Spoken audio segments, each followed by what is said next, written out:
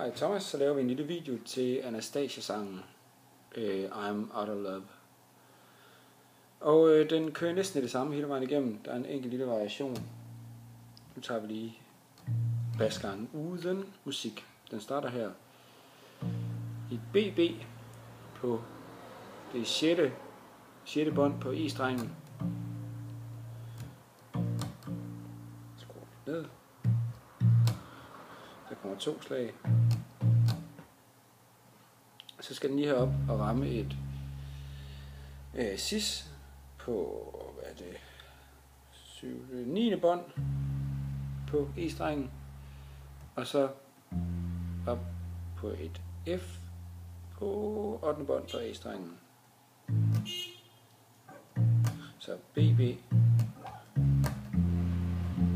siger første frase.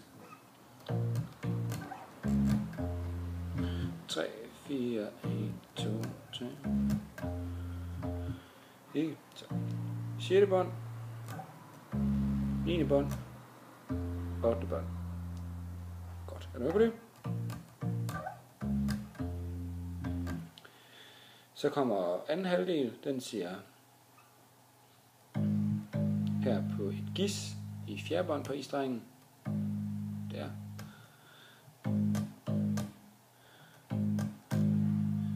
Og så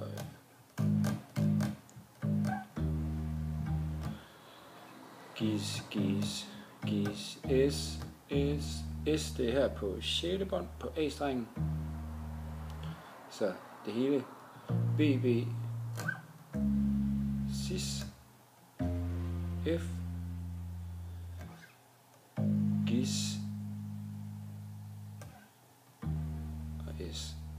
Det er tonerne i sådan grundbasgangen uden den der variation, som vi kommer til lige om lidt.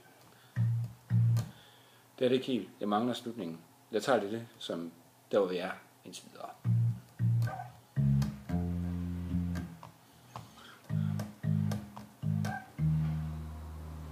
Godt, så langt så godt. Så inden vi starter forfra, der skal den lige sige... Ja. Det er et, det hedder kromatisk, når man så tager en når man tager tonerne hele vejen op. Og den starter fra G, Gis, A og slutter på BB. Så den starter i tredje bånd på E-strengen, fjerde bånd på E-strengen, femte bånd på E-strengen og sjette bånd på E-strengen. Så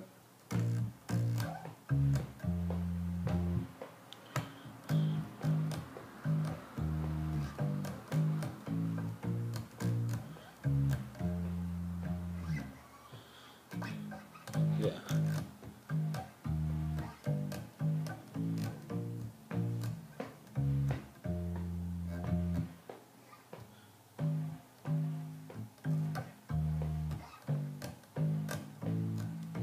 Godt. Jeg håber, du er med på tonerne. Og øh, nu spiller jeg det med en finger. Du skal selvfølgelig spille det med lidt flere. Hvis du nu siger med pegefingeren, så for eksempel ringefingeren, et eller andet.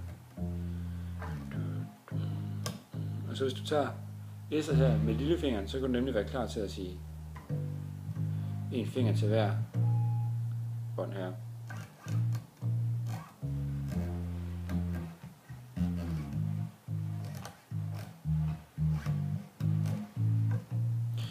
Eller et andet. Hvordan du nu lige føler det er mest naturligt. Okay, der var den der variation. Den kommer i slutningen af verset og omkvædet, tror jeg. Det kan vi lige høre tilbage efter. Men i hvert fald, så siger den, starter med det samme som før. Så den del er det samme, men så i stedet for at gå ned til gis, så går den ned til øhm, ja, det er egentlig gæs. I hvert fald andet bånd på, på E-strengen.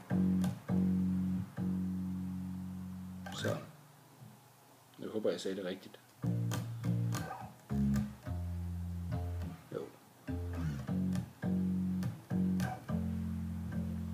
Altså anden streng på E-strengen, andet bånd på E-strengen, og så første bånd på E-strengen, som er et F. Så fis, F, og så skal den glide slide op ad strengen sådan her, til det høje F, som ligger, det er jo det, der lå her i 8. bånd på E-strengen. Så altså fra første bånd på E-strengen til 8. bånd på A-strengen. Jeg holder med pegefingeren her, så slider jeg opad med den, og så rammer jeg 7. Ja, 8. bånd her med, det kunne fx være langfingeren. Så det er ikke den samme finger, du rammer den nye tone med, som du slider op med. Det er en anden finger. Så pegefinger, slider, rammer den nye tone med en af de andre fingre. Okay, den der variation, den siger, Altså... så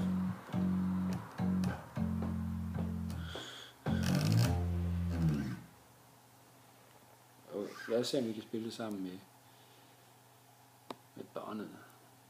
Og så skal jeg se, om jeg kan huske, hvornår variationen kommer. Det er ikke sikkert. Og det var i høretelefonerne.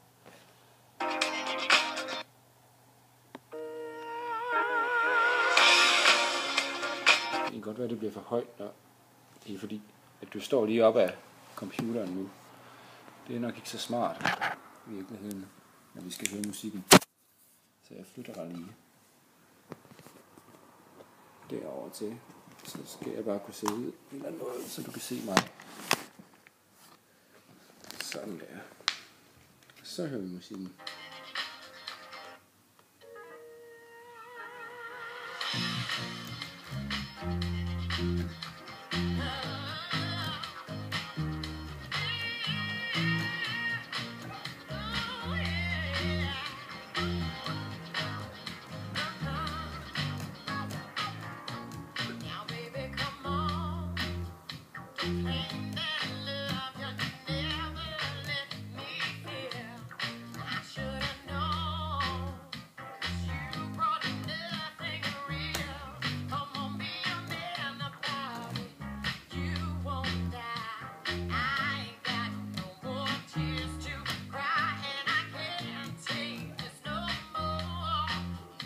You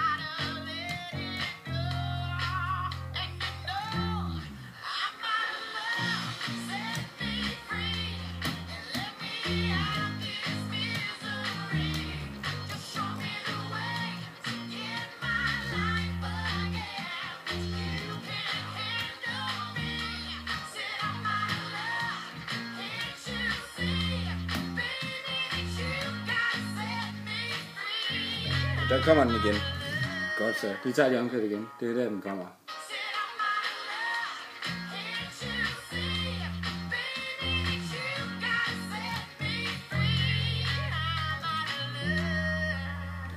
Okay, og der tror jeg... Det kan jeg tror... øh,